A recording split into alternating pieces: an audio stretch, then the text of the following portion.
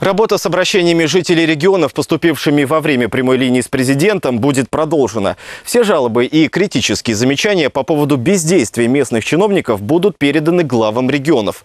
Папку с такими обращениями накануне получил от президента губернатор Орловской области Вадим Потомский. Некоторые Владимир Путин даже зачитал. Жители жаловались президенту, в том числе на задержки зарплат при увольнении, аварийное жилье, нехватку лекарственных препаратов для льготников, повышение тарифов ЖКХ и отсутствие бесплатных учебников в школах. Честно говоря, меня, меня немножко озадачила даже вот такая, э, такая информация по поводу отсутствия бесплатных учебников в школах. По закону Обязаны. да, обязаны предоставить бесплатно. Вот одно из обращений. Выдали список учебников, которые необходимо купить. 17 наименований. Каждый учебник, как правило, стоит от 800 до 1000 рублей.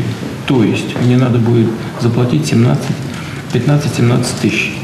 Ну, вот это странно, да? Здесь и в обобщенном виде материал, и конкретные вопросы. Я вас прошу это все проработать. Мы так будем делать э, практически с каждым регионом России, а потом в подведенном итоге пройдем соответствующее совещание. Хорошо?